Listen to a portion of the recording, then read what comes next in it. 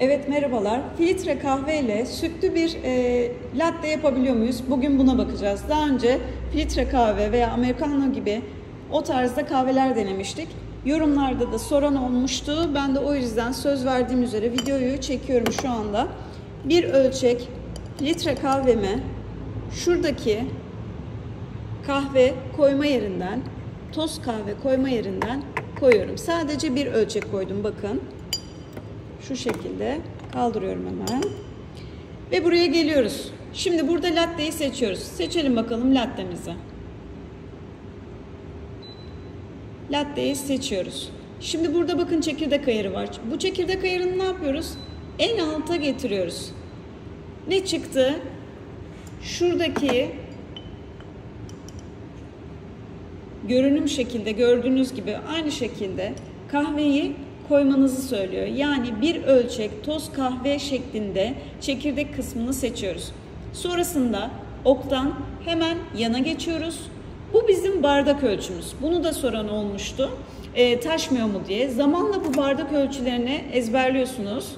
Bazen taşabiliyor tabii ki ama altında zaten taşma tablası olduğu için yani belli bir kapasiteye kadar e, suyu burada absorbe ediyor yani e, dengeliyor. Siz sonradan bunu çıkartıp temizliyorsunuz zaten ve köpük ayarına geldik.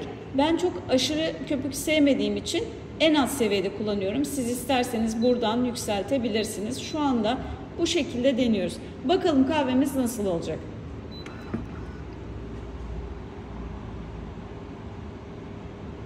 Evet şu anda hazırlanıyor.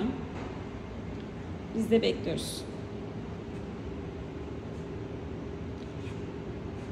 Bu arada su gibi oluyor benim kahvem demişsiniz. Şu anda göreceğiz. Şuradan kapağı açarak ekledim. Buradaki püf nokta tek ölçü ekliyorsunuz. Daha fazla kahve koymuyorsunuz. Buraya ne kadar kahve koyarsanız bakın burada da gösteriyor. Çekirdek koymayın. Sadece toz kahve içindir diyor. Bir ölçek için diyor.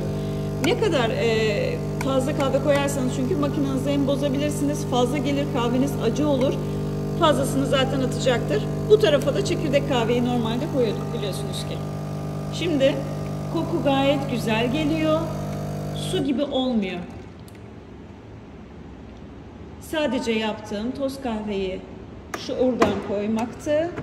Kahvemi seçmekti. Kahveyi seçerken de ayarlardan toz kahve seçeneğini seçmekti. Siz eğer çekirdek ayarında bırakırsanız şurada şuradaki oklardan en alta getirip o biraz önce gösterdiğim toz kahve işaretini görmezseniz o zaman bu çekirdek tarafında da kahve olmadığı için öğütemez.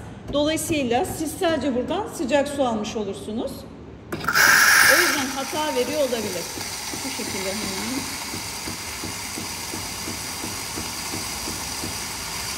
Gördüğünüz gibi çok güzel bir kahve elde ettik.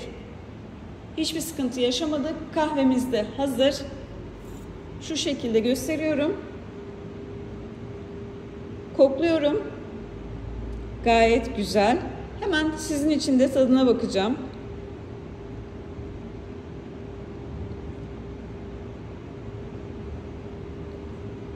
Evet. Tadı da güzel. Çekirdek kahve sevmiyorsanız veya elinizde toz kahveniz varsa bu şekilde e, kahvenizde yapabilirsiniz. Hiçbir sıkıntı olmadan. Evet, deneyenlere afiyet olsun.